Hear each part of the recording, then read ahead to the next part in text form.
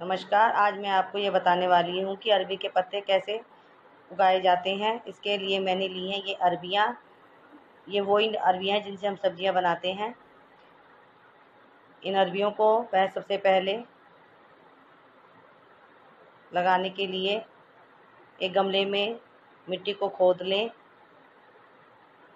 खोदने के बाद उसमें गड्ढा करके एक एक अरबी को लगा दें।